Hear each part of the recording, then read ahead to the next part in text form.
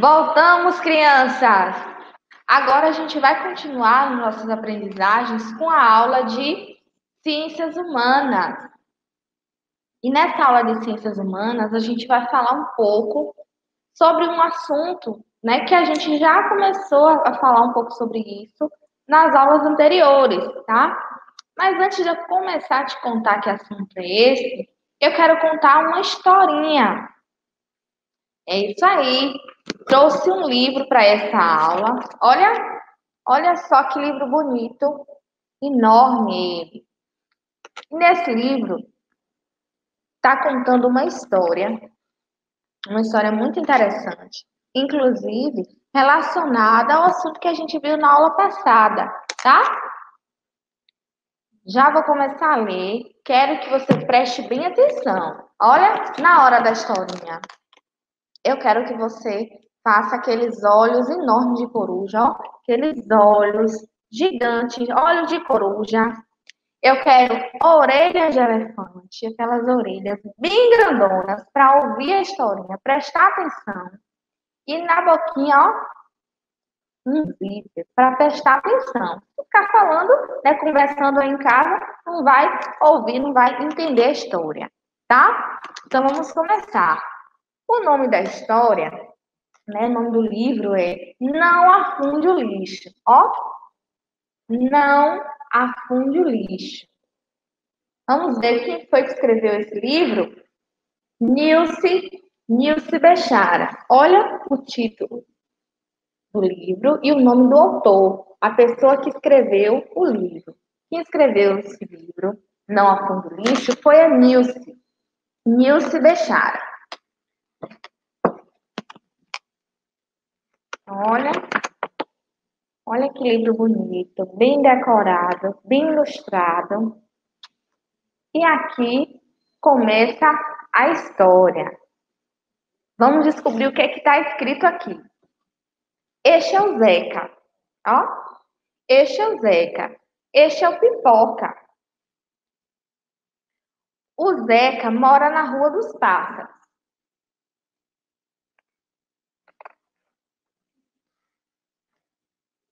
Pipoca caiu de um carrinho de mudanças na Rua do Zeca. Olha. E os dois se tornaram amigos para sempre.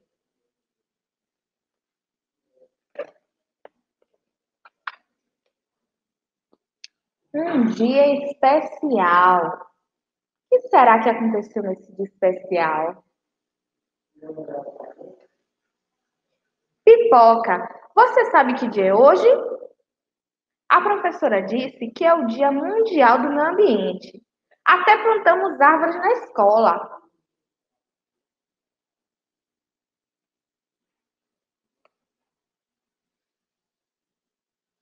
É hora do descanso. Zeca tira uma sonequinha e pipoca também. Ó, cochilando.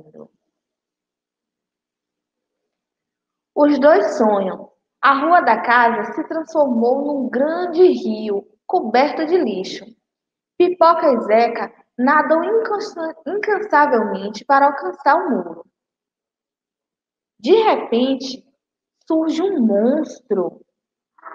Ah! um monstro gigantesco. O Papa Lixo. E vem rapando tudo. Pedaços de pau, garrafas vazias, papéis, latas e. Nossa, vai ficando cada vez maior.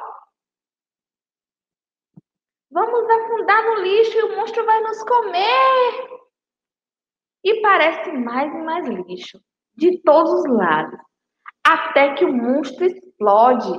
Bum! Nossa, até eu fiquei assustada.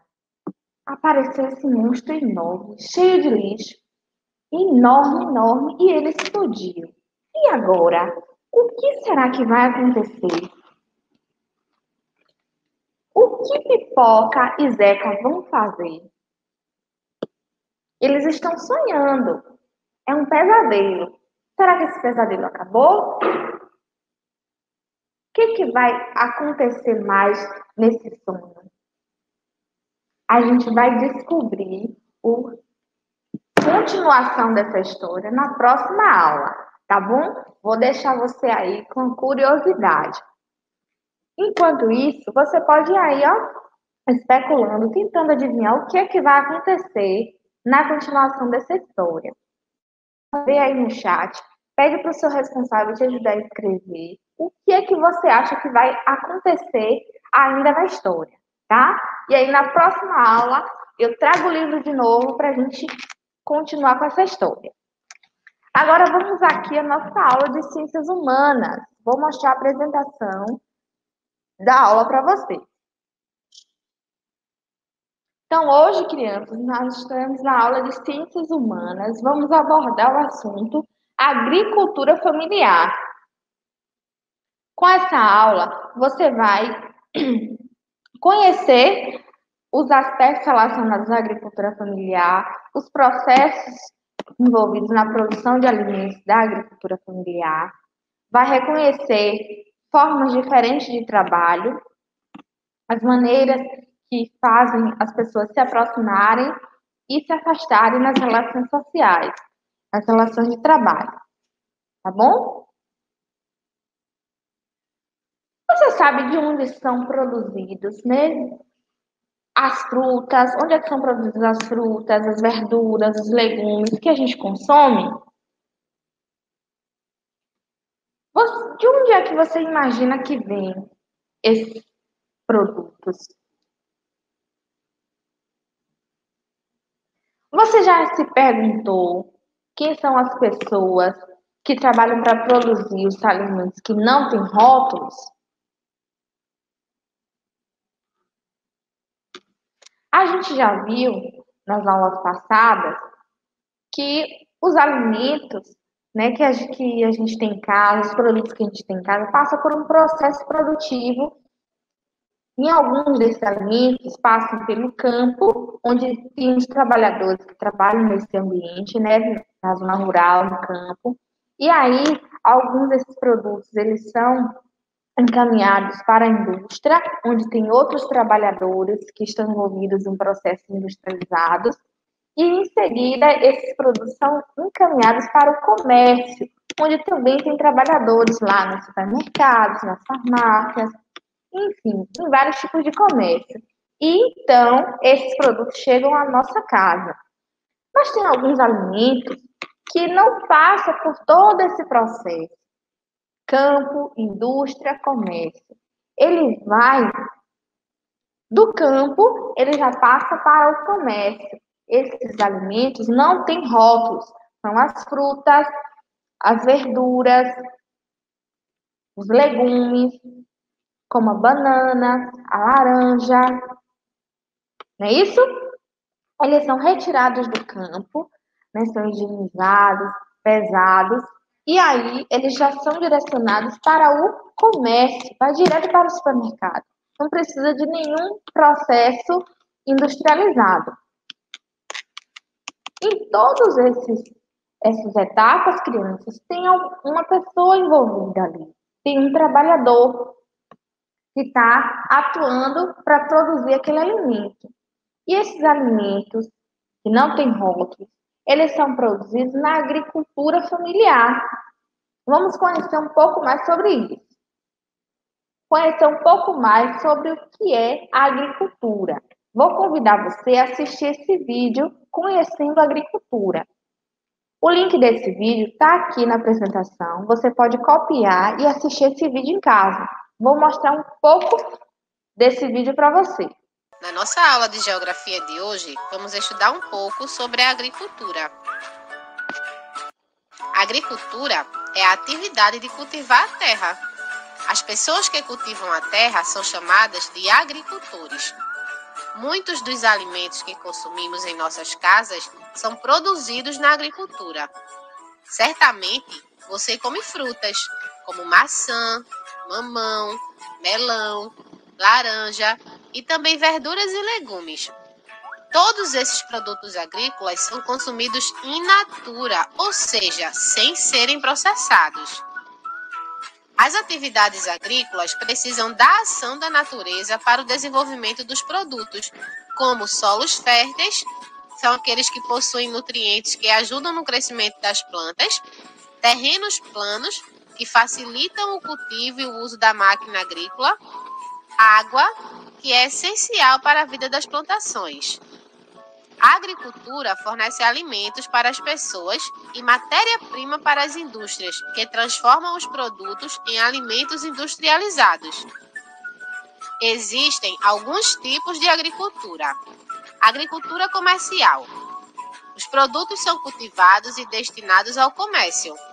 Eles são vendidos no comércio interno, isto é, dentro do país, e no comércio externo, fora do país. Nesse tipo de agricultura, o trabalho é remunerado. Os agricultores trabalham nas propriedades com máquinas e técnicas próprias. Na agricultura comercial, são utilizadas substâncias químicas para proteger as plantações. Agricultura de subsistência. Os produtos são cultivados e destinados para a família do agricultor. O trabalho é realizado pelos membros da família, sem remuneração. Nesse tipo de agricultura, o agricultor utiliza técnicas simples, sem o uso de máquinas. E por fim, a agricultura orgânica. Os agricultores usam adubos naturais para fertilizar o solo e não utilizam máquinas nem produtos químicos. Nesse tipo de agricultura, a produção é pequena. Então, crianças, vimos no, no vídeo alguns tipos de agricultura, como agricultura comercial, agricultura orgânica e agricultura de subsistência, também conhecida como agricultura familiar, que é onde as pessoas produzem para o próprio consumo, é isso? Algumas crianças que moram no distrito conhecem bem essa realidade, que é plantar é, frutas, verduras, plantar, por exemplo, milho, aipim, né, batata, para o próprio consumo. Outros que plantam para ir vender na feira. Né? Então, tem uma remuneração desse trabalho, porque ele é comercializado, esse produto ele vai ser comercializado em um ambiente. E tem também os agricultores que trabalham em grandes propriedades rurais, como fazendas, para produzir alimentos que vão ser comercializados em grandes centros comerciais e outros alimentos que também vão ser encaminhados para a indústria para serem processados. Por exemplo, a farinha de cuscuz de milho, né? Esse milho, ele é produzido no campo, produzido por um trabalhador, um agricultor, e aí ele é encaminhado para a indústria, onde esse milho ele vai ser processado e transformado em uma farinha. E aí essa farinha vai ser comercializada. Aí eu tenho um produto da agricultura familiar que ele foi processado, mas esse milho ele poderia ter sido vendido in natura, sem nenhum processamento, direto para consumo. Vamos ver agora alguns dos produtos da agricultura familiar. Então, a gente vai ter aqui a banana, o feijão, o milho, são produtos que não passaram por processos químicos, né, por, por processos industriais. Eles são consumidos in natura. Um aipim, a cebola, a manga. Conta para mim qual é o produto da agricultura familiar que você mais gosta, Escreva no chat para saber. Se você mora em distrito, conta para mim se a sua família produz algum alimento aí para consumo próprio ou para vender nas feiras.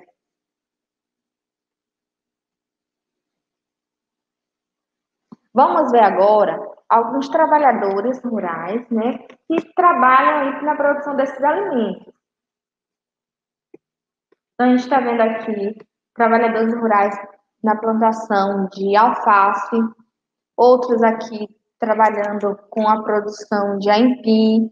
Olha, então, observem a vestimenta desses trabalhadores. né? Precisa usar bota, calça, né? uma calça jeans para não se machucar, inchada, uma faca, um facão se precisar cortar alguma coisa. São alguns instrumentos de trabalho dos trabalhadores rurais.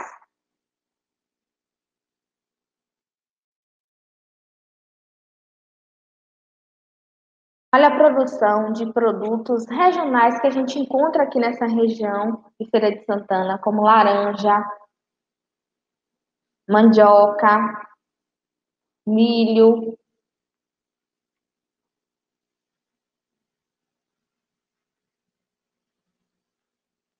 Agora, a gente tem um desafio. Você vai entrevistar alguns familiares para identificar se algum, alguns deles trabalham na agricultura familiar. Então, você vai fazer uma entrevista né, com pessoas da sua comunidade que trabalham na agricultura familiar para conhecer como é feito esse trabalho. Você vai perguntar: oh, como é que você trabalha? Que instrumentos de trabalho você utiliza? Quais as roupas que você utiliza? Por que, que você utiliza essas roupas? Você gosta desse trabalho? É remunerado? E aí você vai registrar essa entrevista, como aqui é feito esse trabalho, você vai registrar utilizando desenhos, tá? No seu caderno. Depois, você vai tirar uma foto, se você puder, e vai compartilhar com seus familiares ou com a professora da sua turma. Capricha! Agora, crianças, a gente vai relembrar o que a gente viu nessa aula de hoje. Vou parar aqui a apresentação do slide para a gente relembrar o que a gente viu nesse momento da aula. Então, hoje, na aula de Ciências Humanas, a gente viu sobre a agricultura familiar. Vimos que tem alguns produtos que não recebem rótulos porque eles não são processados industrialmente. Eles são consumidos em natura, vão direto do campo para o comércio. São produtos da agricultura familiar, como verduras, legumes, frutas, Vimos que nesse processo existem pessoas por trás, pessoas que são trabalhadores, que estão envolvidos num processo de trabalho. São os trabalhadores rurais. Alguns desses trabalhadores, eles produzem alimentos para consumo próprio, para a família. É agricultura de subsistência. Outros trabalham para vender nas feiras, pra, trabalham em propriedades rurais maiores. E está relacionado à agricultura comercial, Vimos aqui também alguns exemplos de produtos da agricultura familiar que são produzidos aqui na nossa região, como laranja, milho, aipim. E aí eu deixei um desafio para você, fazer uma entrevista com o familiar e conhecer mais sobre esse trabalho que ele realiza, tá bom? Espero que você tenha gostado bastante da nossa aula e aprendido com a gente. Agora a gente vai se despedir. Nos vemos só na nossa próxima aula. Beijo grande. Até mais.